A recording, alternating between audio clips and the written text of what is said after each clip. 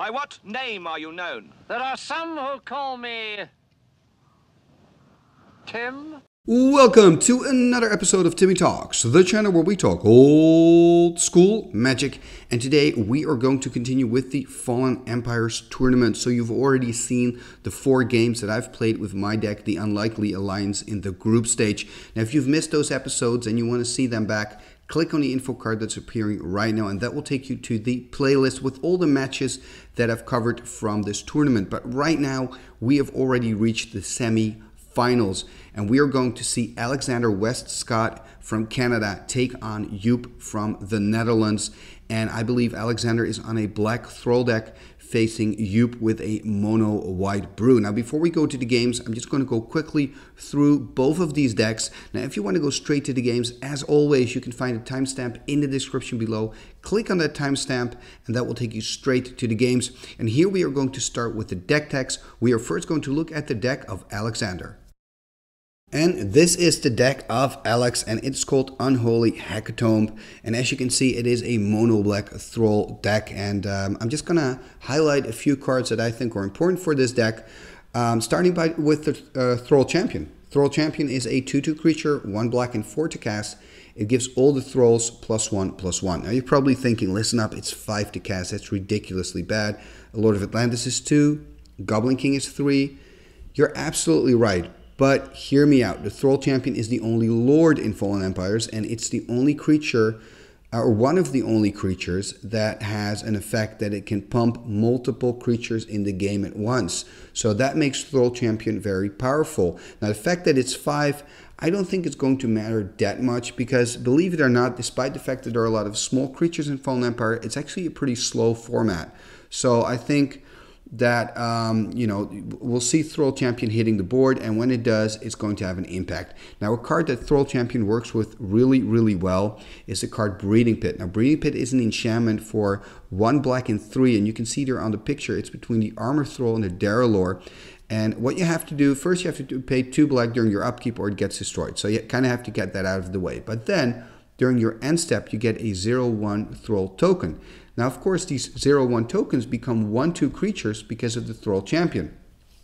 So you can already see that you know uh, the the cards are making each other stronger. There's synergy here. That's of course what you have with a tribal effect. Talking about synergy, next to the Thrull Champion, you've got the Ebon Praetor. Now, Ebon Praetor, it's one of my favorite creatures in Fallen Empires because it's just so weird. It's two black and four. It's a five-five. It's a summon avatar. It's got trample and first strike. And during your upkeep, you put a minus two, minus two counter on Ebon Praetor. And you're probably thinking, wow, that is really bad. Six mana, and then your next turn it becomes a 3 3. Yes, but hear me out.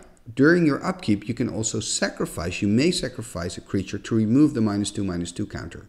Right? So then it becomes a 5 5 again. If you've sacrificed a Thrull in this way, you can put a plus 1, plus O counter on um, the Ebon Praetor. So that means that if you have your Breeding Pit in the game, you can sacrifice one of your little 0-1 Thrulls, and you can make your Ebon Praetor a 6-5 trample first strike, next turn 7-5, 8-5, and so forth.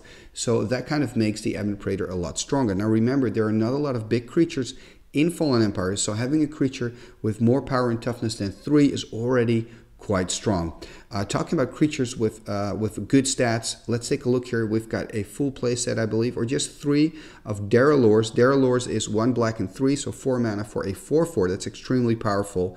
Um, it does have a downside though because it taxes all your black spells with one extra black. So you have to pay one extra black per spell. Um, now, when we look at the rest of the deck, there are there are tons of other cards that I can highlight, but I don't want to I don't want to make this deck deck too long. Uh, just one thing I'd like to note: um, I think the Aeolipiles. There's a playset of Aeolipiles in here, like in almost every deck in this tournament. I think is going to be very very important in this particular matchup because Alex is going to play against uh, a mono white deck, so he probably has to face uh, the Order of Leitbur. Now, Order of Leitbur has protection from black, so that's a huge problem for Alex.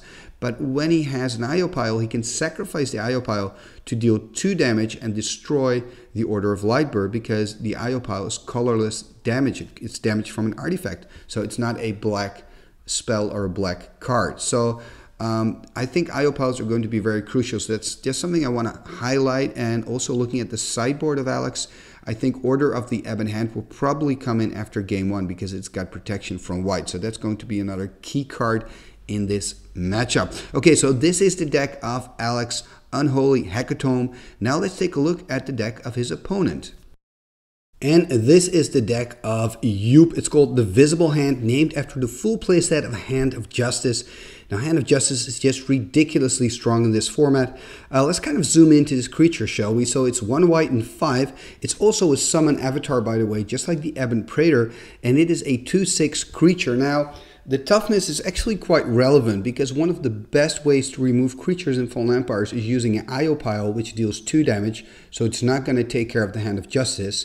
And the other top removal spell is a Dwarven Catapult. Now, Dwarven Catapult is red, and Alex is not playing with it, but I just want to mention this because also with the Dwarven Catapult, it's extremely difficult to kill this Hand of Justice. Now, besides the fact that it's got great defense and it's a great blocker, it also has an, a unique ability for this set. You can tap it and then tap three other white creatures you control to destroy any target creature. Now, this may not sound that strong, but in a format where removal is so difficult to come by, having it repetitively, being able to do it on, and for example, every end step of your opponent, just killing one of his creatures, it's extremely strong. And it's, it's understandable that Joep has decided to play the full playset in his deck. Now, when we look at the rest of this deck, we kind of see what you would expect more or less from a White Weenie build. We see Icatian Javelineers, Icatian Infantry. We see, of course, the Order uh, of the Ebon Hand, which I think is going to play, uh, sorry, the Order of Leitbur, the playset, which I think is going to play a very imp important role in this matchup. Now, another interesting card here, I think, and there's a full playset of those as well, is Farrel's Zealot. Now, Farrel's Zealot is this interesting card that has an ability that you can just repeat over and over again. It's it's two white and one to cast. It's a 2-2 summon townsfolk. And when it attacks and when it's not blocked, you can choose to have it deal 3 damage to target creature. Now, this may not seem as much. But if you, for example, attack and your opponent only has a one power blocker, you know, like a 1 2 or a 1 1, he's basically forced to block the Zealot because if he doesn't, the can kill him anyway. So there's kind of the synergy. And then if you maybe have like the, the, the priest on the battlefield, I believe it's the Icatian priest. Uh, you can pump your creature, or you know, there, there also. This is one of those cards that looks kind of weak, but I've played against it, and trust me, it can become a really, really big problem. So Feral Zealot's actually a very strong card.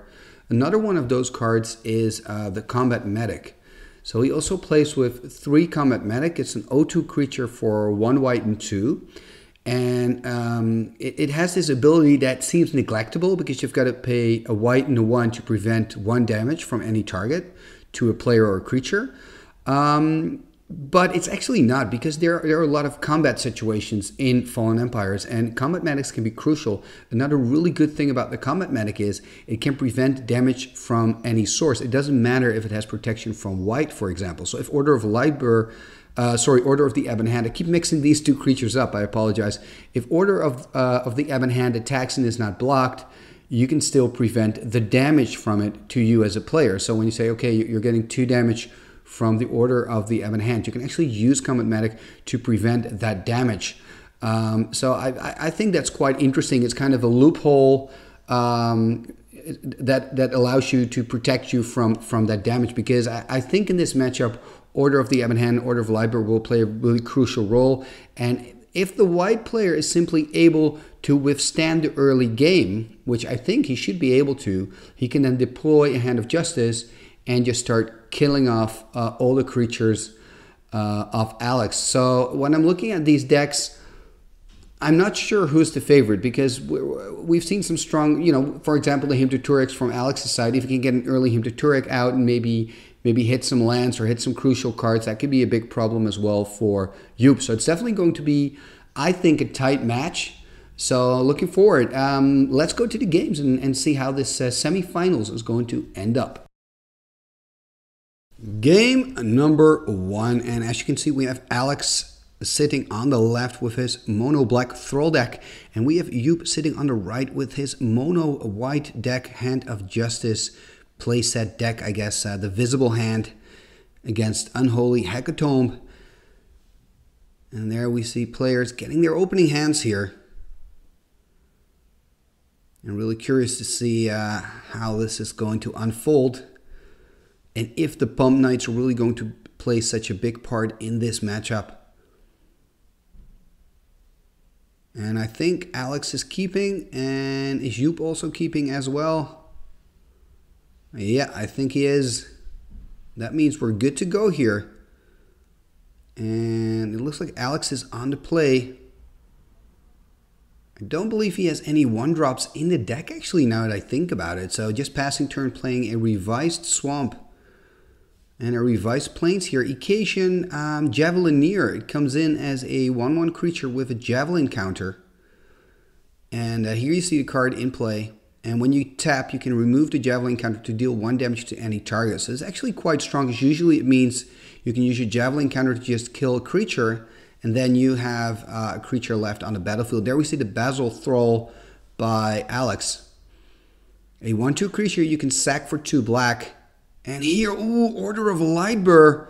Here we have the first Pump Knight hitting the battlefield. I think this is going to be interesting. Alex will need an Aeolipile to kill this now. Or else, remember, it has protection from black, so there's not much that Alex can do about it. Playing his third swamp, will we see an Aeolipile? I believe this is the Mindstab Thrull. We see it in the, on the screen here. Mindstab Thrull is kind of that hypnotic specter from Fallen Empires. If it attacks and is unblocked, you can sack it and force your opponent to discard three cards. And Joep is just attacking here with the Order of Leitbur. Going in for two, your poss possibility to pump it to a 3-1 with that 2 white mana. The question is, is he going to do that? And uh, it looks like he's not. So he's going to 18, and then he's tapping two to play another Order of Leitbur. Wow. Wow, things are not looking good for Alex here. Interesting to see, by the way, that uh, Joep has missed his land drops. Only two lands in play. But uh, it's already looking quite sketchy for, for Alex. He really needs an Aeolipile now to take care of at least one of these orders of Leitbur. The problem as well is that he can now he cannot attack at the moment as well. He cannot put pressure on because if he attacks, uh, Joep can simply block his untapped order of Leitbur, and because because it has protection from black, it doesn't even take any damage. So it would just be kind of a suicide mission for the Thrulls of Alex if he would swing in now. And he's not even playing out anything here. This is pretty rough. Not even a Derelor or another another type of Thrull attacking now, coming in for four. That means he's going to drop to 14. Actually, is he pumping it now? That would mean he goes, no, he's not playing another Order of Leitbur. Oh my it, it, looks like he just has a full playset in his hand or something. And and then in that case, uh, Joep only needs two mana. I mean, if you've got all the order orders of Lightburst against the mono black deck, you don't really need more than two mana. But let's see. Let's see if uh, if Alex can find a way out of this uh, this hole somehow. Tapping five. What are we gonna see? Will we see? There's Thrull Champion. So we talked about Thrull Champion in the deck deck section. So it gives all the Thrulls plus one plus one. That means he now has a 3 2 and 2 3. And that's also the reason why he's attacking. He knows if he blocks on the Order of Leitbur, um, of course, the Order is not going to take any damage, but at least the Thrull is not going to die. But of course, Joep still has that Javelin counter on the Icatian Javelineers. I believe he's now blocking the Mindstab Thrull, and he has the ability now to deal an extra damage with the Icatian Javelineer, killing the Mindstab Thrull. I do understand, though, um, the decision from Alex because you simply have to do something. You cannot just, you know, sit back and think, okay, if I don't attack, I'm just slowly going to die. I mean, he doesn't really have an option here. So that means uh, at least at least he's dealt two damage. Joep is dropping to 18 life, but he's also lost his Mindstab Thrull there. And the question is, what is Joep going to do? Will he attack full force or will he just attack with two orders of Leitbur and keep one at bay? Remember, he's still very low on mana. So I don't think we're going to see a hand of justice this game. And I think for Alex, it's it's he just needs to get rid of those orders of Leitburs. I mean, but that's that's just huge. It's so hard to remove creatures, uh, destroy creatures in uh, in Fallen Empires only. And in the meanwhile, we've seen an uh, Icatian uh, infantry and an um, Icatian priest hitting the battlefield as well. And uh, Alex is dropping to eight here after taking six from the orders. And yeah, things are looking really, really bad for Alex's first game. And this is just, I think this is just being unlucky because, I mean, Joep is very low on mana, so usually that's a good thing. But yeah, when he finds three orders just in the early game, there's not much you can do when you're playing mono black. You just have to hope that you draw into uh, maybe your order of the Ebon Hand to put some pressure on him, or at least um, finding one of the Aeolipiles. He's playing with the full playset, but I haven't seen a single one yet. And obviously he's kind of in the tank here, looking at his cards, trying to find a way out of this, knowing he's only on 8, so he probably just has one more turn left. Decides to attack nonetheless here with a 2-3 creature. I think if, if, if I would be, yeah, I would just take the damage here, because you're on 16, or an 18, so you can drop to 16, it's no problem. Uh, tapping two more, we will see something else. Oh, Soul Exchange, that's quite interesting. So it sacrifices a creature, but it, it, gets removed from the game, and then it brings a creature back. And if a Thrull was sacrificed this way, you actually get a plus two, plus two counter. And also a Derelor. Look at this. So actually, the, the cards that Alex is drawing are not too bad. His deck is kind of doing what he wants it to do. The problem is those three orders of Leitbur, because if I look at um, at, at the creatures of Alex, he's got a 5-5 Derelor, a 3-3 Thrull Champion, a 5-5 Mindstab Thrull. I mean, that's pretty impressive. But all these creatures have protection from black, so he's going to drop to 2. And I wonder if he's going to pump it. He's not going to do that, playing an Aeolipile. Wow, and now it is completely over. Of course, IO he doesn't have the mana yet to use it straight away. Uh, he's still stuck on just two lands. Can you imagine that? So this whole game, Joep has been stuck on two lands, but because of those orders of Leitbur, he's been able to completely crush Alex. All that Alex can do now is do an Alpha Strike, just attack with everything, and he's just probably gonna gonna chum block. Uh, although he doesn't even have to. Or yeah, Alex has one card, so I guess it's worth it to just to chum block. I mean, I don't think there's any card in Fallen Empires that can make Alex deal that kind of damage, but still. Uh, and that's it. That's it. That's the first game. Um, yeah, it's really MVP orders of Leitbur, and I think Joep is showing it here now by showing the two plains and the three orders of Leitbur. That was really what this first game was all about. So hopefully the second game is going to be a little bit more diverse. So let's give Alex and Joep some time to dive into the sideboards, and we'll catch back up with them in game number two. Game number two, and we have Alex on the play with his uh, Thrull deck, Unholy Hecatomb. He needs to win this one to stay in this. This is the semifinals, remember. Whoever wins this will advance to the finals of this Fallen Empire constructed tournament. And Joep starting here with an Icatian Priest turn one. And then it's Alex's turn. Let's see what he can do in turn two. Of course, he can sack the Ebon Stronghold if he wants to for three mana. He's not doing that. Casting a Hymn to Tourach. Ooh, this is very powerful. Early game, this card can be such a killer. Let's see, rolling the dice to see what cards he will have to discard. So number four and number one, or number two, I guess. And we see a basic plains in an Aeolipile. Aye, that is really tough for Joep. Attacking again here, and Alex is dropping to 19. But look at that, Joep has missed his land drop. So it was very crucial for Alex to hit that basic plains. There's an order of the ebon hand. Oh, this is really tough for you because he must be looking at his graveyard and go, "All my answers are in my graveyard." That second land, the IO pile, everything. And uh, let's see, casting a armor thrull now.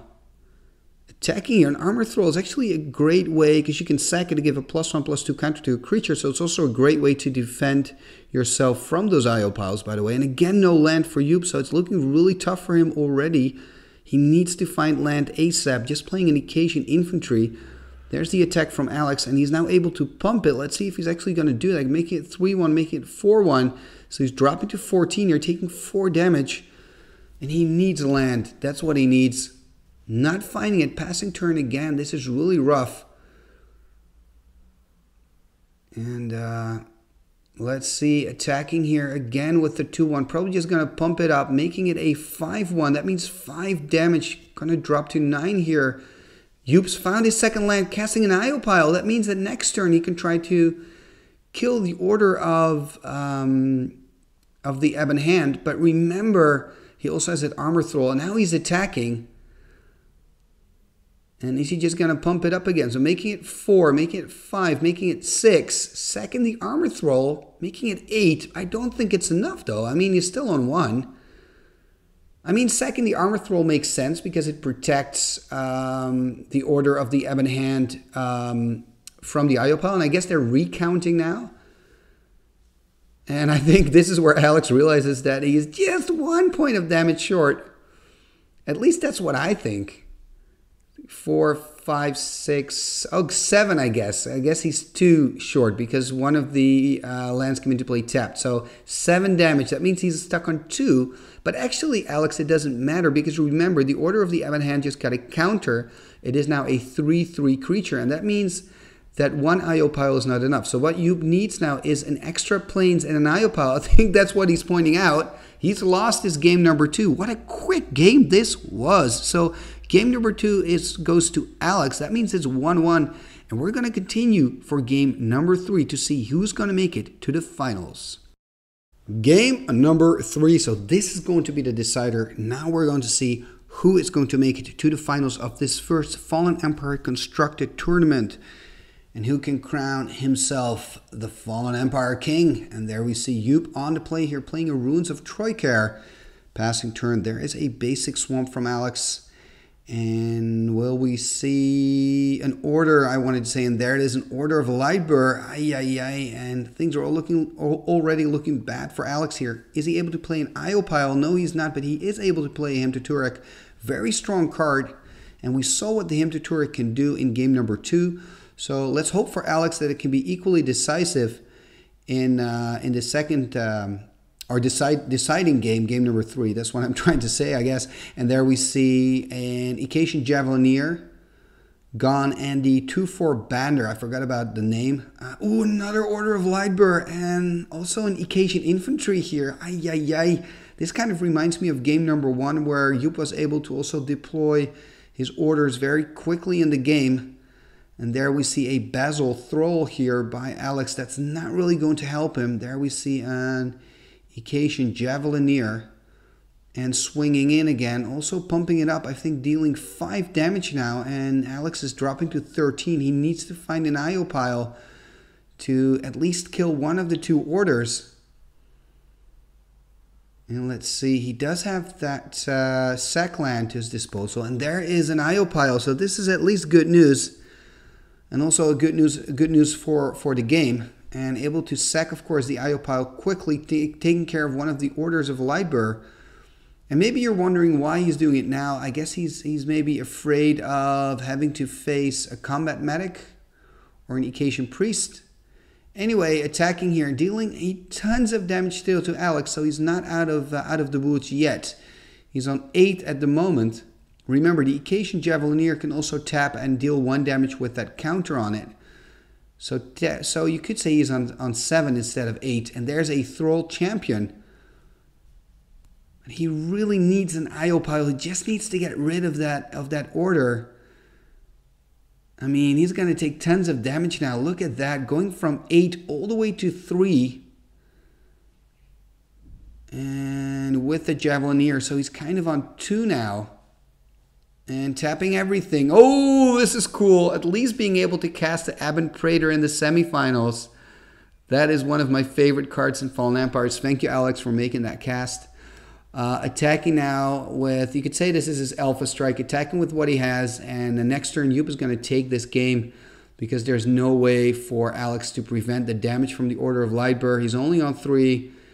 He's gonna attack, gonna pump, and that's it. That's it. So, uh, Joep, congratulations with this victory. You are the winner with your visible hand mono white Fallen Empires deck, and you're going to advance to the finals. So um, that is pretty exciting. So you can still become the Fallen Empire guru, I guess, you know, the big man when it comes to the Fallen Empire set. Um, thank you for watching another episode of Timmy Talks. This time we had some tournament play for you. Let me know what you think of the expansion set Fallen Empires if you haven't done so already in the previous matches that we've uh, we've shown you from this tournament. If you want to support the channel, you can do so by liking this video, leaving a comment, subscribing if you're not a sub yet, sharing this on your socials, that really helps.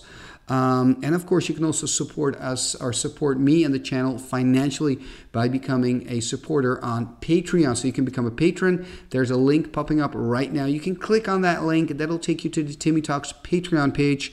Just have a look, you know, have a look, see, see what you get when you become a member. Um, it's it's pretty interesting, and this was actually or is actually uh, a patron only tournament that you're seeing right now. Anyway, thank you for watching, and let's take a look at the end scroll. Let's take a look at the patrons of Timmy Talks. What